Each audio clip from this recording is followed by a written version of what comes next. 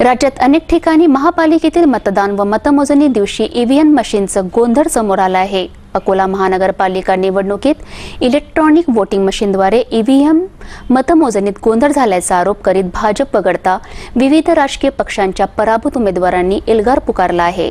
राजकीय पक्षांच्या पदाधिकाऱ्यांसह पराभूत उमेदवारांनी सुद्धा शुक्रवारी कलेक्टर बंगल्यावर धडक देऊन मतपत्रिकांद्वारे फेरमतदान घेण्याची मागणी जिल्हाधिकाऱ्यांकडे करण्यात आली. अकोला महानगरपालिका निवडणुकीसाठी घेण्यात आलेल्या मतदानाची मतमोजणी तेवीस फेब्रुवारी रोजी करण्यात आली. ईव्हीएमद्वारे मतमोजणी प्रक्रियेत ईव्हीएममध्ये सेटिंग करून निवडणुकीचे निकाल बदलविण्यात आले असा आरोप करीत निवडणुकीत पराभूत विविध राजकीय पक्ष आणि अपक्ष उमेदवारांनी ईव्हीएमद्वारे मतमोजणीतील गोंधळांविरुद्ध विविध राजकीय पक्ष आणि अपक्ष उमेदवारांनी ईव्हीएमद्वारे मतमोजणीतील गोंधळांविरुद्ध एल्गार पुकारला.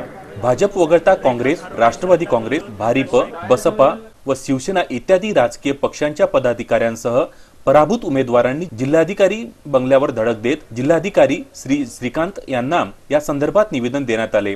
अकोलासह नाशिक येथे मुंबई नाका परिसरातील दीपाली नगर येथील शर्मा मंगल कार्यालय अखेरच्या टप्प्यात मतमोजणी करणारे कर्मचारी आणि मनसेचे उमेदवार व कार्यकर्ते यांच्यात उडालेल्या शाब्दिक चकमकीचे रूपांतर अल्पावधीतच तुफान गोंधळात झाले. या संदर्भात मनसेतर्फे विविध पक्षांचे कार्यकर्ते आणि उमेदवारी ईव्हीएम मध्येच घोळ असल्याचा तांत्रिक मुद्दा उपस्थित करीत आक्षेप घेतला. परिणामी तणावाच्या बनलेल्या वातावरणानंतर सुमारे एक ते दीड तास येथील मतमोजणी प्रक्रिया रखडली होती. ईव्हीएममध्ये घोळ करून एकतर्फी विजय मिळविण्याचा भाजपचा प्रयत्न या केंद्रावर उघड झाला आहे. याबाबत रिसर तक्रार निवडणूक लढवत असलेले सर्वच उमेदवार निवडणूक आयोगाकडे करणार आहेत.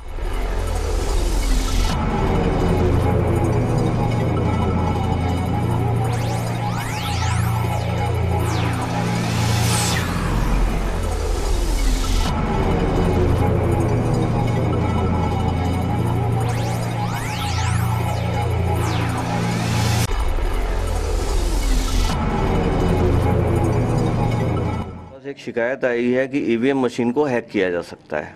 भारत निर्वाचन आयोग जो इन मशीनों के ईवीएम मशीनों के मूल निर्माता हैं, उनकी तकनीकी टीम से अपनी रिपोर्ट प्राप्त कर लेगी। क्योंकि आयोग किसी भी तरह से पुष्ट या अपुष्ट किसी भी सूचना पे कार्रवाई करता है और हम उनको रेफर कर रहे हैं।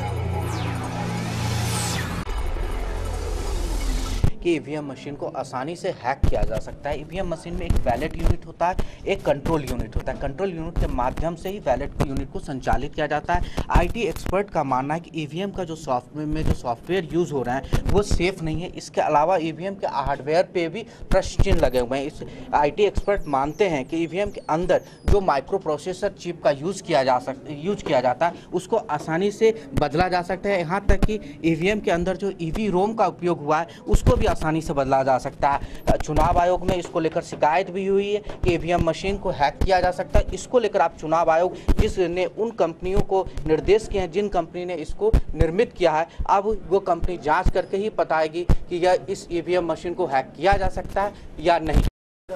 आमच्या ज्या प्रभागामध्ये जे मतदान झालेलं आहे, ते मतदान आज आता आम्हाला लक्षात आलं आहे की पूर्णपणे पूर्ण नियोजित पूर्वनियोजित आणि ते सेटिंगचं मॅटर आहे. कुठलीही बटन दाबा ते कमळच पडून राहिलं.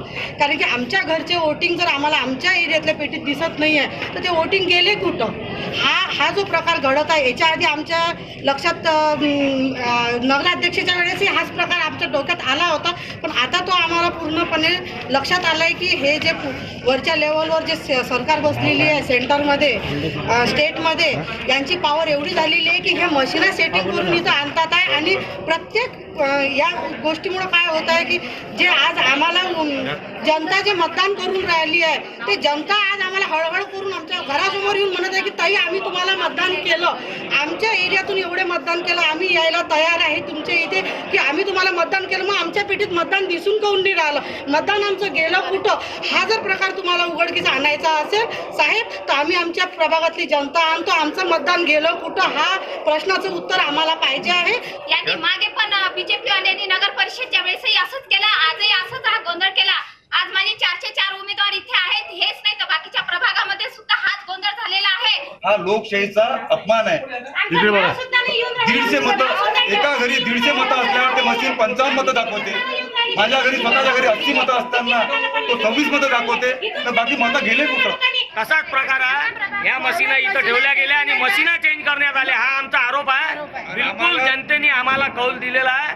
बिलकुल टोटल बोगस. जो व्यक्ती भिकाऱ्याला पाच पैसे भीक नाही देऊ शकत कोणाला पाणी नाही पाजू शकत तर असे लोक काय निवडून येऊ शकते